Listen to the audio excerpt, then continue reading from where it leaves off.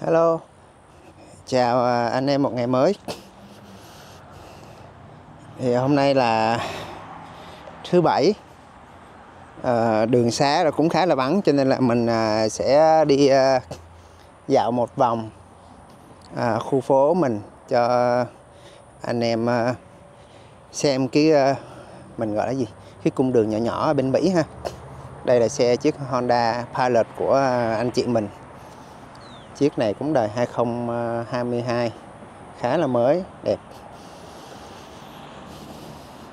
À, Bây giờ mình à, đi à, một vòng à, Trong khu phố mình.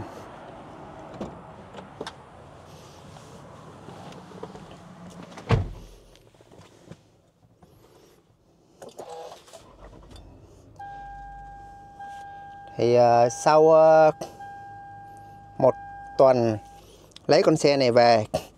Thì à, hôm nay mình sẽ có một số à, à, gọi gọi là gì ta? Cảm nhận à, cảm nhận cái con xe 12 năm tuổi. À, như thế nào ha?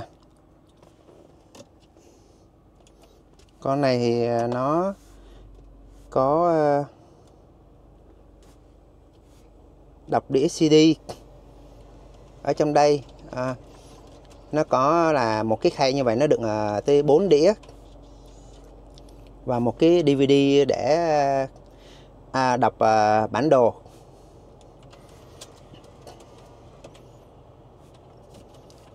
Thì hiện tại là mình à, không thể nào mà mở nhạc ha. Thì nói chung là YouTube sẽ đánh bản quyền mình nên anh em thông cảm. Rồi giờ bắt đầu mình đi ha.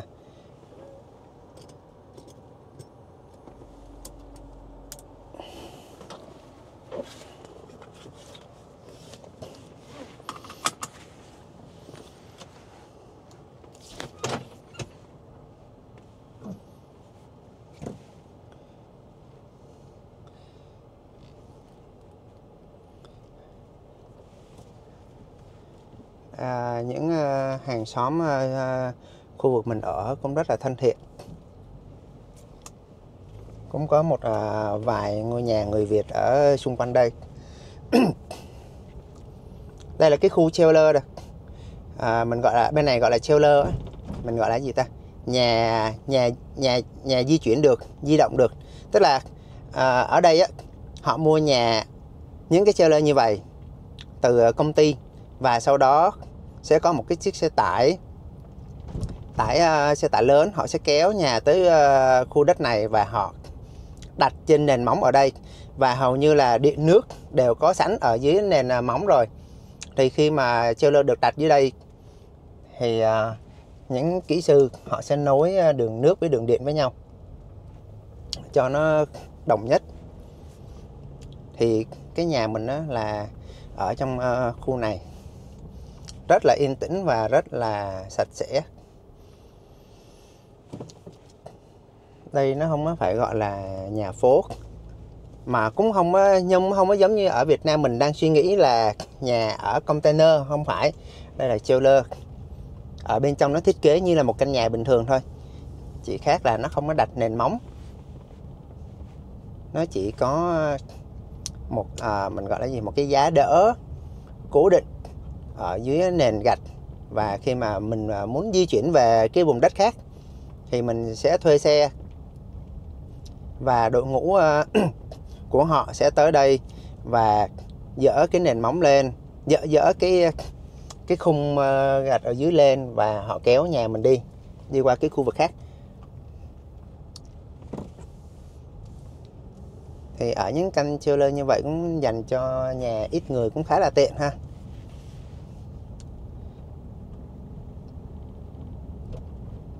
Để mình à, đi dạo một vòng à, cái cung đường mà mỗi ngày à, mình đưa con mình đi học.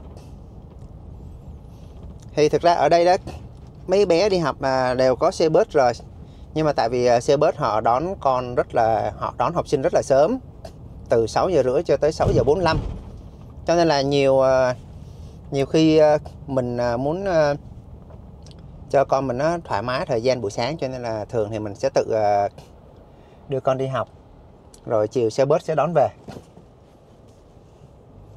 Thì à, hôm nay là thứ bảy nè không có học sinh nó không đi học và đường cũng khá là vắng cho nên là mình à, sẽ đi đánh một vòng à, buổi sáng theo cái cung đường mình à, chở con đi học hàng ngày cho anh em à, sẵn à, tham quan cái à, cái đường phố Mỹ của cái thành phố mình đang ở ha cái thành phố mình đang ở thì à, mình cũng nói như là nó như là một vùng quê thôi. Nó không có xô bộ nó không có tấp nập. Một cái thành phố nhỏ ở bang à, ở tiểu bang à, Louisiana. Thì cái bang Louisiana này nó à, đôi khi mình nói là đôi khi nó có bão. Cách đây 4 năm nó có một trận bão lớn là bão bão Laura nó quét ờ, càn quét cái Louisiana này cũng khá là nặng nề.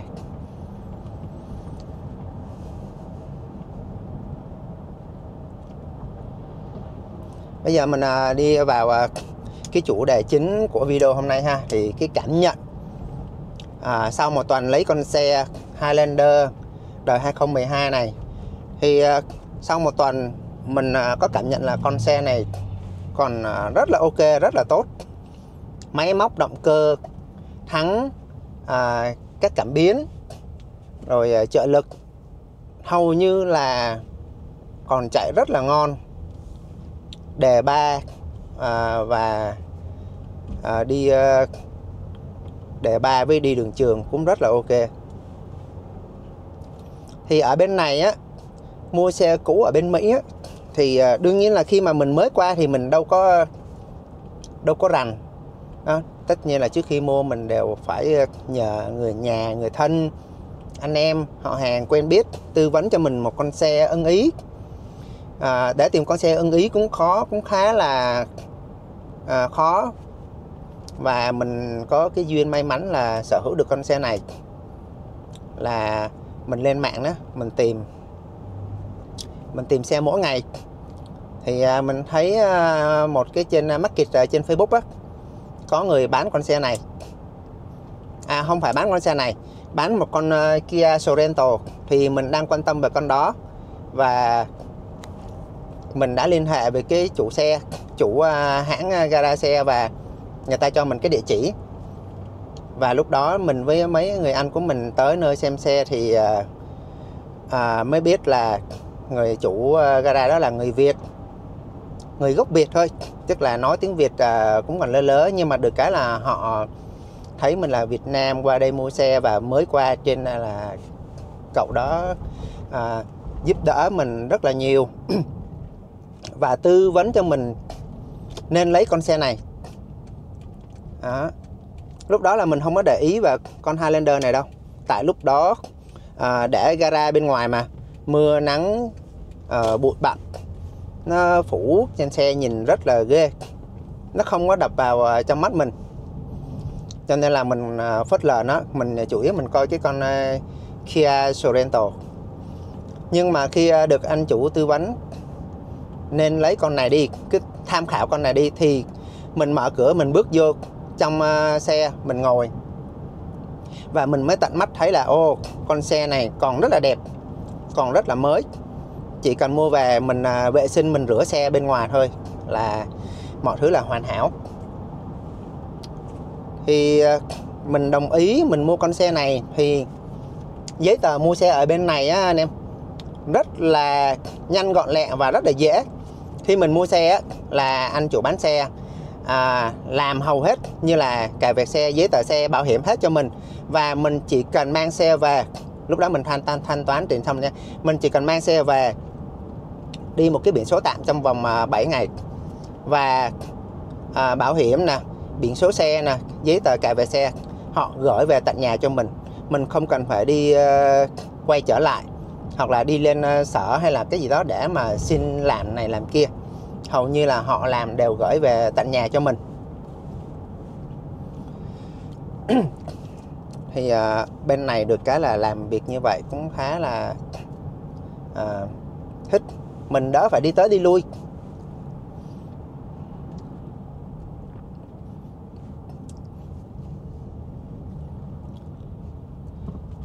Qua bên này mua được một con xe à, còn tốt như vậy thì à, nói là hiếm thì thực ra không phải là hiếm nhưng mà ở bên Mỹ xe hơi là xe phương tiện di chuyển chính. Cho nên là để mua một con xe mà còn ngon còn tốt thì cũng gọi là 50 50 mình có duyên mình sẽ gặp được à, một chiếc xe ngon. Chứ ở bên này á, xe người ta đi hàng ngày nè đi chợ đi làm đi tùm lum đi uh, tất cả luôn. Thì uh, cái việc mà họ phải bảo dưỡng thường xuyên là điều hiển nhiên rồi. Ở bên này họ bảo dưỡng xe hơi thường xuyên lắm. Họ đều vô gara chăm sóc xe bảo dưỡng xe. Xe bị gì bị kia là làm hết. Và khi mà xe có sự cố gì và à, va chạm đâm đụng hay là hư hỏng cái gì thì trong gara đều nốt lại ở trên cái title. Đều ghi nốt lại trên cái title hết. Và khi cái người chủ sau mà muốn mua xe họ nhìn cái title đó họ sẽ biết được ở uh, xe này đã từng bị gì hoặc là chưa bị gì. Thì khi mà mình mua chiếc xe này mình thấy cái title rất là sạch sẽ không va chạm không đâm đụng không uh, tu sửa một cái gì hết là mình uh, chấm uh, con xe này luôn. 12 năm. À, đối với xe Mỹ là nó quá là bình thường chạy rất là ngon. Có những người ở bên này họ chạy những con xe mà từ năm 1990 luôn. Miễn sao xe ở bên này á, họ không có chú trọng bề ngoài. Miễn sao xe còn chạy được là họ vẫn lấy xe đi làm. Họ dùng những con xe đó để đi làm đi chợ hay là chở những cái đồ gì mà um, coi như là đồ nặng mà có thể gây chạy trước cho xe đó, thì họ vẫn dùng để họ đi uh, chở đồ hàng ngày. Còn những cái xe mới sau này á, thì họ ờ, giữ lại để mà họ cho xe nó luôn mới.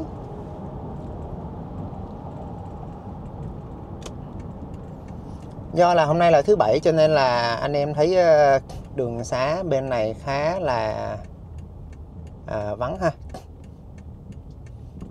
À, yên tĩnh. Anh em có để ý là đi đi suốt một chặng đường như vậy á mình à, hiếm khi thấy à, ai chạy xe máy mô tô thậm chí là cả người đi bộ. Ở bên này á, là lên xe ra đường là xe hơi hết. Mình đi một ngày trong một ngày mình à, đếm đầu ngón tay cái người mà chạy xe máy hoặc là đi bộ ngoài đường đếm không hết năm đầu ngón tay luôn.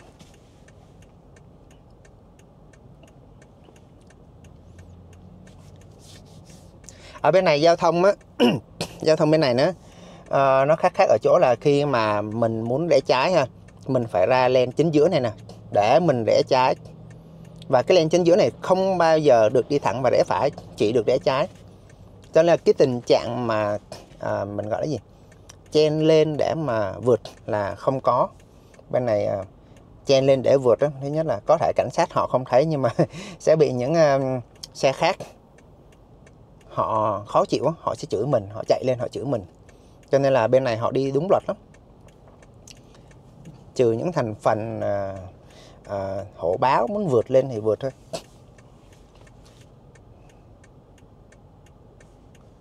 Mình đi cái len giữa này là cứ à, có đèn xanh là mình đi không có quan tâm à, à, về những cái à, là len khác nha. Ở bên Mỹ là cứ đúng len đúng đèn mình đi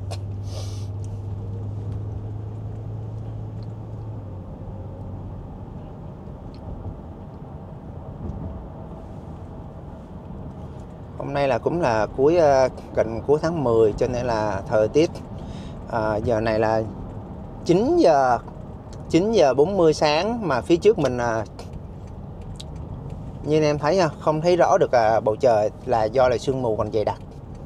Nó bước vào cuối nó gần bước vào à, mùa lạnh rồi đó. Qua tháng 11 là còn lạnh nữa.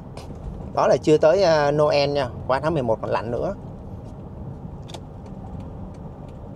Đó anh em thấy không? Bây giờ mình đi tới ờ,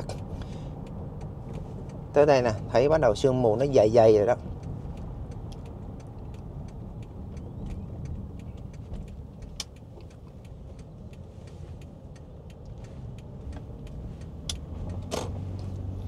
Ở đây nó có cái biển ờ, thông báo là giới hạn tốc độ là 40 mile trên giờ. À, 40 mile thì ờ, mình không nhớ nhưng mà nếu mình tôi đoán thử là mình nhân lên 1.5 hay 1.6 thì có thể là mình đang chạy với tốc độ là à, 70 mấy 75 á, trong đường phố.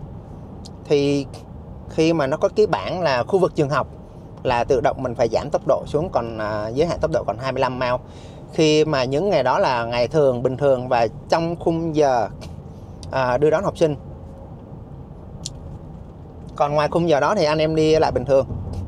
Ở bên Mỹ là như vậy mình mà đi sai luật và những cái khung giờ mà họ quy định đó, là mệt lắm á. Ở đây police bắt giữ lắm. Họ không đứng à, à, núp núp gì đâu. Nhưng mà mình sẽ không biết là họ từ đâu mà ra. Đôi khi là đứng trong đường họ đứng công khai ngoài đường này nè. Nhưng mà từ xa họ biết mình có lỗi á, là họ đi theo liền. Là họ sẽ ờ, à, mình sẽ nhìn cái gương chiếu hậu á, mình thấy đằng sau họ quay đèn là tự giác phải tấp vô lề.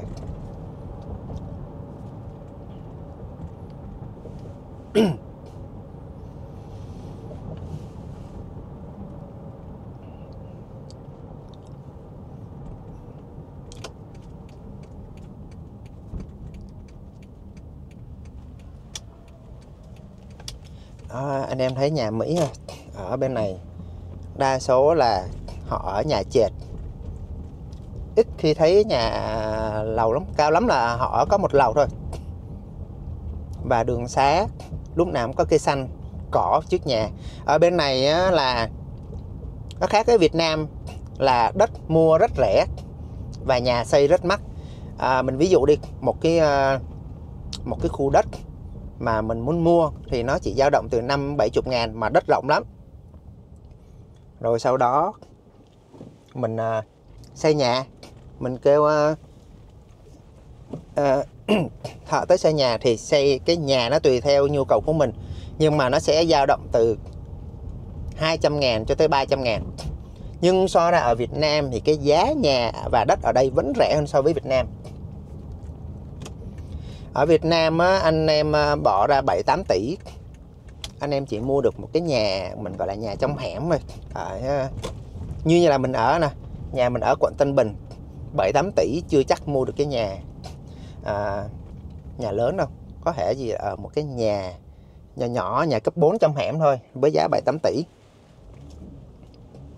Nhưng mà ở bên Mỹ anh em bỏ ra 7 8 tỷ anh em sẽ sở hữu một căn nhà rộng đó, như cái nhà phía trước và một cái parking và một cái sân à, xung quanh cái nhà của mình rất là lớn.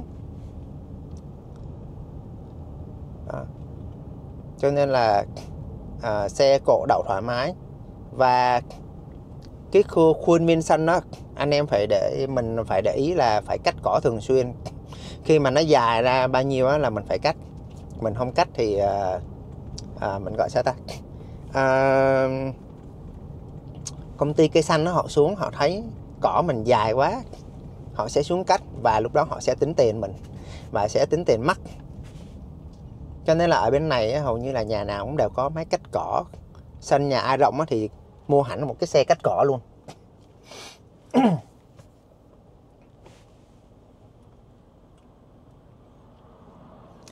Giao thông ở bên này mình đi là không có vội vã ha. Cứ ờ, đứng chờ chờ cho hết cái làn xe, cho hết cái giá xe họ đi qua mình rồi bắt đầu mình quẹo. Chứ không có chuyện mà chen chen. Ở đây chen à, chen ngang rất là nguy hiểm. Ở bên ấy Mỹ này họ mặc định là họ đang chạy tốc độ đó và họ sẽ không dừng.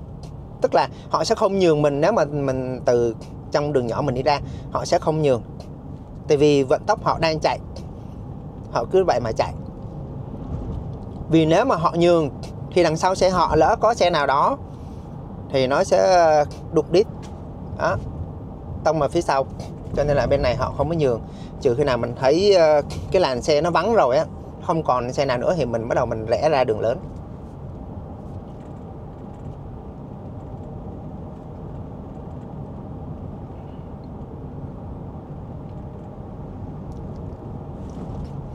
Thì ờ, nãy giờ là mình cũng đi một vòng đi qua hai cái trường mà, mà mỗi sáng đại khái là cái công cái cung cái cung đường mà mỗi ngày mình đưa con mình đi học á.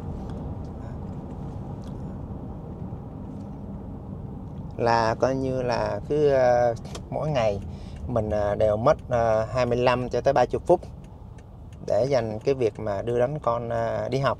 Chiều thì uh, tụi nó đi xe bus về rồi.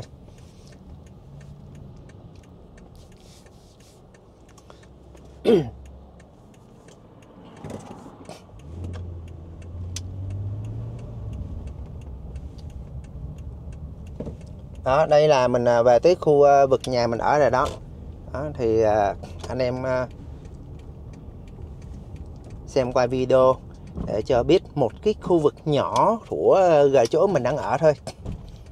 Đấy là mình về tới nhà rồi. Thì à, nói chung là cái video hôm nay là à, cảm nhận một con xe đời 2012 sau ờ, à, 12 năm hoạt động. Thì đối với mình quá là tốt rồi. Không dám à, đòi hỏi gì thêm. Sau này à, có điều kiện á thì mình à, có thể là sẽ kiếm một con xe nào đời mới chẳng hạn. Nhưng mà trước mắt đối với mình là con xe như vậy thì nó quá là ok lắm rồi. Chào anh em ha. Hẹn anh em vào một cái ờ, video khác à, về một cái chủ đề khác.